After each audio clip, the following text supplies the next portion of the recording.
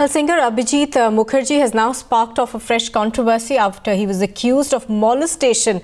Abhijeet, however, has refused to come on record and says that it was an incident of gate crashing.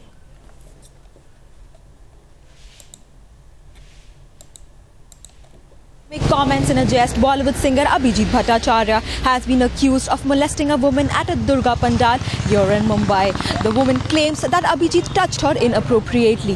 While the police probe is on, an FIR has been registered against the singer for molestation. The singer has refused to come on camera, claiming and refuting that the entire incident is untrue and also blaming it on crowd management issues.